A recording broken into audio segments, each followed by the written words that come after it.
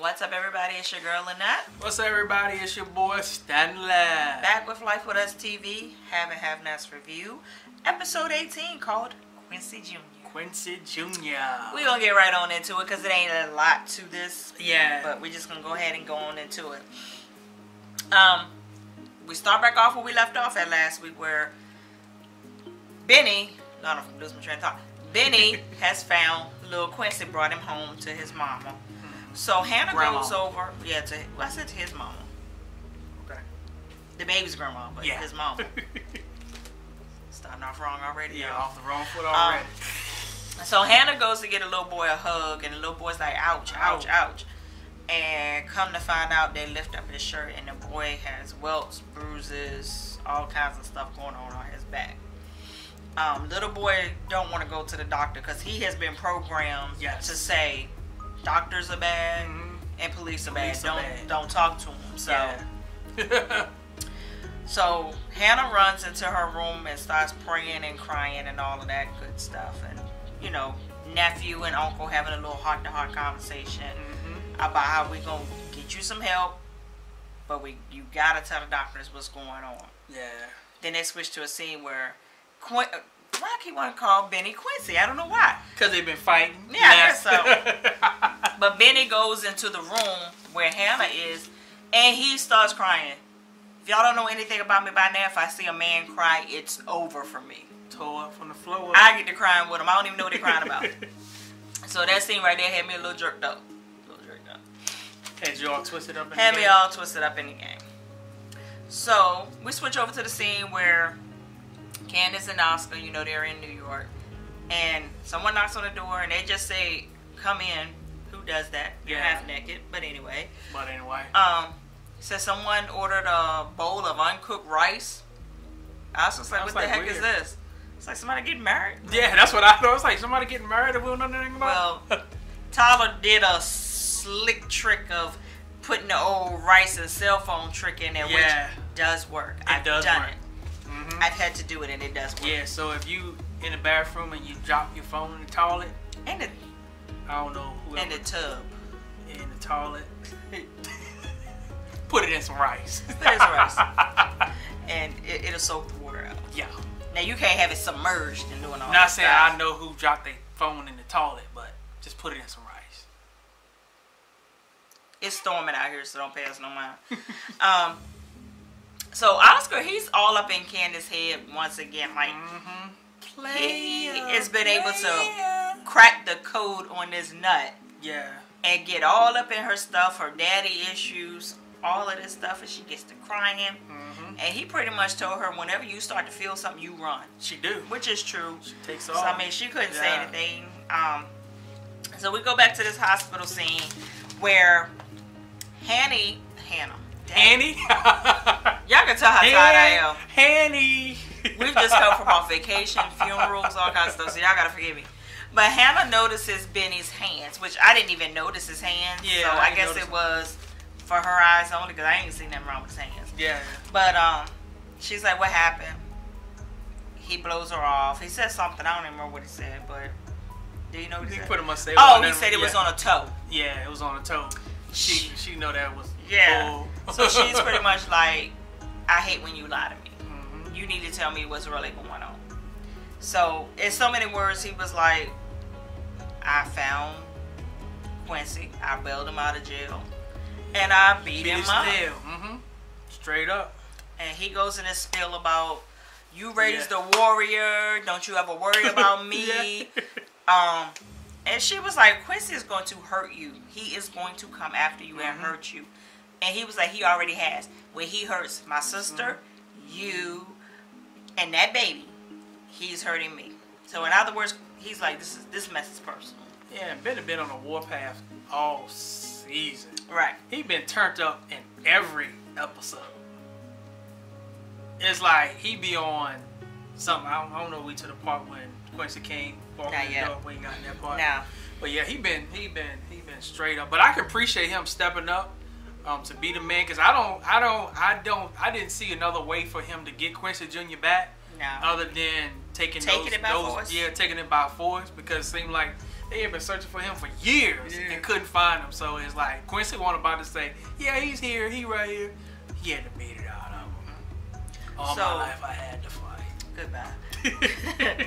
so this whole time that um, they're in the hospital, Benny has been trying to get in touch with his sister, but we all know she dropped the phone in the bathtub, so she can't get no phone calls or whatever. Got it. So go to the scene with Catherine. She's sitting outside on the lanai. She's been like spending the night on the lanai. yeah. But she's crying and crying and crying. Jim is coming out there sarcastically, good book. She should have knocked his tail out at that moment. But she was like, I've been reading Amanda's diary, and nine was right. She was raped. And I'm like, how many times are we going to confirm Yeah, we this? like we already know she was raped. We know. We've that. confirmed this like on three episodes. Yeah, we know that. Duh. So then they went further, which I was like, woo, because I'm like, am I the crazy one? Yeah. So she was like, but what Nine didn't know was Amanda stalked him and she stabbed him. hmm Catherine said, let's hang this son of a bee. Yeah, I don't. I don't like that because. I don't like that term. Bec- well, now I'm talking about him getting stabbed. Cause y'all know the episode when I. Amanda stabbed him.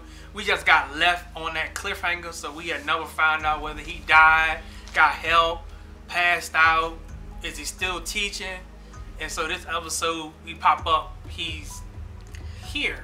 Yeah. So it's like we don't know what happened after he got stabbed. Like this whole time he could have been dead. Yeah, We so didn't know. 'cause I thought he was dead.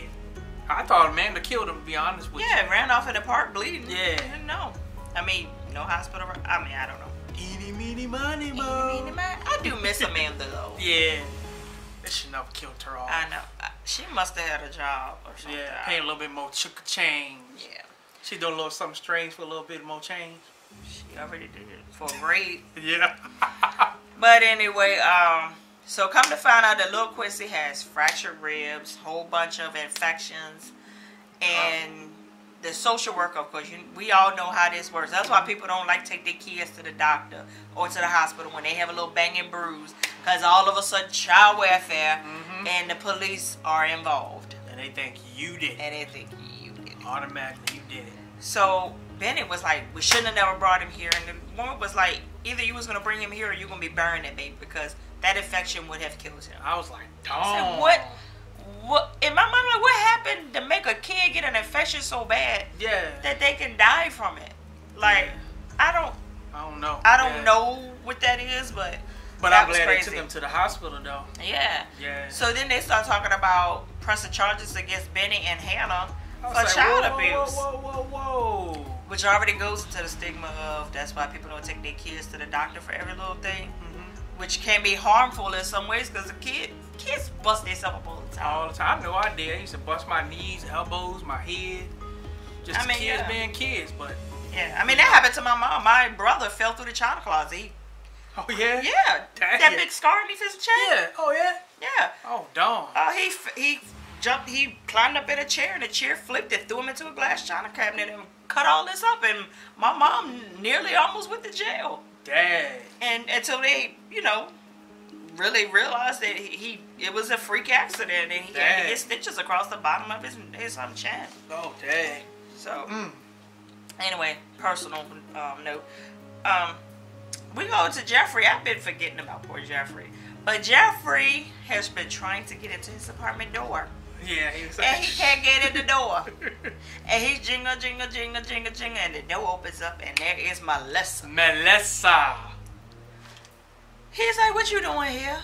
In my apartment, she said, "This is This is my, my, apartment, but you can, but you can stay with me." yeah. So he walks in. He's like, "Where's my furniture?" Oh, your mom got everything moved out, Everything moved out. and she sent me on a shopping spree to fill it up with stuff of my taste, and she put this place in my name. Just when you think that winch can do no more harm. And she's doing all of this because of his lifestyle, because he chooses to be gay. I, that, that's no excuse to treat nobody like that. No. If that is what he want to do and that's the way he want to live, Let him be. let him do that. That's not affecting you. Right. Well, they What she kind thinking that it's gonna affect them as far as the campaign and all of that stuff. everything ain't about campaigns. Yeah, but everything ain't about campaigns. Everything ain't about you. But they done, she done took the boy apartment. Yeah, put it in the girl name and told her, well, he can stay with you. So Melissa was like, look, a man can't give you what I can give you. I already got one up on a oh, man Yeah. because I can give you, I got this baby that's on the way. So we're going to live in this house. You're going to smile, suck it up because I got to pay my parents' bills and I love them just as much as you love your parents. Jeffrey was like, hold up. Oh, That's what we wrote. We different at. yeah. Jeffrey wanted to say, I don't like her. I Uh, don't like her at all. he can't stand her now. He probably do Yeah. hate about it at this point. So Melissa was like, I know that you would say that you wouldn't live here. So she passes him the newspaper. This wench has announced Melissa and Jeffrey's engagement in the goddamn And newspaper. they got on paper. I don't know if y'all heard that thunder or not. yeah, I'm sorry. It's thunder. That's the storm cloud, Jedi. Yeah. We got the natural storm cloud on that one. Yes. Her spirit is resting in a body. Perfect timing. Oh my God. Perfect timing. So we switch over to the jail scene where Wyatt is in jail, going crazy. He's sitting up there. He got snot coming out of his nose. He's sweating. Poor Wyatt. Poor Wyatt. I'm And- sorry, Norman. Norman. So I noticed that his cellmate wasn't in there, and I was hoping they would address it, and they finally did at the end. But he has a visitor, none other than his evil parents. yes. Wyatt at this point is like, I'm not even talking to Jesus. My lips are sealed. I ain't hit no little girl. What girl? Uh, yeah, what girl, I don't What even know nobody. I, I just want to get out. They terrible in here. yeah, he was like, I got to go. You can see the fear in his eyes. Yeah, so he was like, please get me out here. Mama, tell daddy to let me out. Da da da da And Jim was like, are you ready? He said, I think he ready. Then Jim said, nah, Nah. you ain't ready yet. he sent that boy back into the lion's den Yes. one more time. He got him right where he want him now. He got him right in the palm of his hand. Yep, I bet you when he do get out of there, I bet he gonna keep his mouth shut. yep, yep. So we're back at the hospital again. I don't know why I'm doing this. We morning, living at the hospital in Yeah. this episode. Well, they're questioning Lil Quincy. Lil Quincy got a smart goddamn mouth. Yeah. I like him though. He's a cute little chocolate little baby. I love him. Mm-hmm. but he got a smart mouth. And the police officers asking him questions. He was like, well, "Why don't you do that?" Mm-hmm. Yep. My grandparents, my grandma loves me. My uncle loves me. Who did this to you? Nobody. Who do you be living with? Mm. Who you play with? My cousins.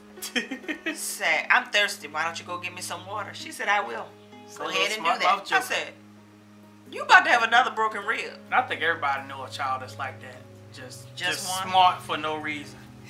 Maybe several, just smart for no reason. And you, and you just, you just want to just like Choke him. just- 1 800 shake them him. one time, Choke 'em. but Choke you don't want to go jail. Yeah. So, Roll camera. as they're in there talking to Lil Quincy, of course, Hannah and Betty are sitting in the waiting room because they can't be in there at the same time. Quincy Come strolling through the door. comes stumbling in the emergency, limping. Have y'all ever watched The Hitchhiker? Where he said, "Hey, lady, thanks. Thanks for the ride, lady." y'all gotta be old school to know what that is. Yeah. But he coming in looking like that thing. Thanks for the ride, lady. and they nearly have a heart attack, asthma attack, and rage in the whole same emotion. Yeah. Ben is sitting there. Even Hannah was a little turned up. Benny said, I was like, back down, Pitbull. said, wait a minute, wait a minute. Back down. I said, let him Back go, down. let him go. Back down, Pitbull. Then we switch over to the scene where the Cryers have rolled up on Professor Cannon. Mhm. Finally. like thugs. I Rolled up. said, okay, finally. And they question his hind So parts they, down. they question his hind parts down. And he's sticking to script. He's Mhm. like not breaking. Yeah. Is that thunder? I don't know. I don't know if it was thunder or gunshot. A road camera. Anyway, we loaded. Um. So, Cannon is just like in in Rome. Like, okay, I knew she had mental illness. I heard about it. Blah blah blah blah. So Jim grabs him Body. Yep. in that daggone stab wound. And he starts buckling. He said, Oh, an old sports injury. Oh, Uh. he's ah. He started spilling the whole beans. I didn't know she wasn't an escort. I thought she was like the other girl. And Candace told you all of this. So he, I mean, he's just spilling it all. But don't y'all notice that Jim stays in judge mode? He never he's never in normal person mode. Yeah, yeah. So he walk up to him, ask him question that you would get asked in court. true. right. No, the question they'll ask you to see if you're gonna tell a lie or if you're gonna tell the truth, and they already know the answer. Mm-hmm. He stay in that mode. Y'all, y'all ever notice that? He He's-. Yeah, he stay in that mode. And that superior, I got all the answers, and you're gonna tell me what I need to hear. Mhm. Yep. Roll camera. But uh, he proceeds to beat him down. Beat him down. beat him down. They did a little slow motion action on you to make it a little bit more dramatic than what it was. Yeah, did a little Debo on him. And then um, Catherine, the pit bull that she is, is like, not like this. I like this. I don't understand what that meant though. I'm like, you're already beating a man in public. People on the campus is looking. He got a campaign thing going on in the morning. What's really happening? So what they they must gonna send the uh which what's them jokers the them jokers that got Candace I the Malones. the Malones she must gonna send the Malones after I them don't torture them to gonna death. do. But um, we'll see. Oscar comes back into the hotel. I don't know where he been, but there's roses everywhere. I mean, rose. It, it reminded me of the scene of uh, Empire where he got Anthony Hamilton to seduce. Yeah. Um, I can't remember her name now. So he could propose to her. That's what it reminded me of. So she's up in the bed. He's like, "You ain't even been up." you need to get your tail up. Get Then up. her cell phone starts ringing. He's like, "The rice worked." Mm-hmm. And pretty much at the end of this scene was they're trying to get in touch with Candace because they're going to send that boy to a foster parent because Hannah's not his foster parent. Benny is just the uncle, and he's pretty much been orphaned. yeah.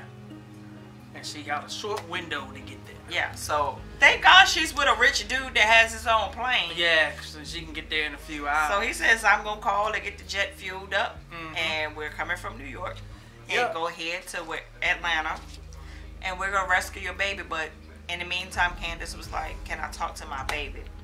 And they have a moment, and he's like, Mommy, please, you to come get me? And she's like, I'm going to come get you. He said, I don't want to live with my daddy no more. Please come and Mhm. get me. I said, Oh. But that's basically it. This That's is it. probably the shortest review we've ever done because yeah. it's a lot of setup. Yeah. Then tonight was still another mellow Right. episode. We haven't got back on that high yet, so this is what like the third mellow episode. Yeah. Oh, but I did forget to tell y'all that at the end, end, end of this, Wyatt gets another cellmate, Oh yeah, Debo. and the guy is like, "What's your name?" He said, "My name Norman." He said, "Uh huh." I'm in here for murder. What kind of guy runs over a little girl? So he pretty much tells him, "Get on your knees." And Why the is it- dramatic behind that. Why I said no, no, no, no, no, no, no. Tyler play too much because I'm really over these dramatic and Yeah. explicit sex jail scenes. But that was basically it. that was but it, y'all. the next preview kind of confirmed some of the stuff that I was thinking. I don't think that Wyatt is as safe as his daddy thinks he is. You don't think so? And David kind of said it. He said, "You need to get that boy out of there because something is telling me he not as safe as you think he is." Hmm. So I'm thinking that some of these people that he's encountering Are Are real inmates. inmates. Oh boy. We But- shall see. But we will see. So until next time, you guys, straight from the VA. Make sure you like, share, Yes, do subscribe. all that good stuff. Tell all your friends about Stanley and Lynette on Life with Us TV. I have a question for y'all before we go. I've been Oh, asking my wife this question. Would y'all rather for us to have our reviews on a separate channel than our vlog channel? Or do you like it with mixed in with all our vlogs? I don't care. So let us know because we're gonna make sure we're making it easier for you all. Because some of y'all might not be into the regular vlogs. You just might, you just might just love reviews, and that's all you want to see. But let us know that in the comments field. Straight from the VA, The dirty South, y'all. two up, Two down. two down, holla.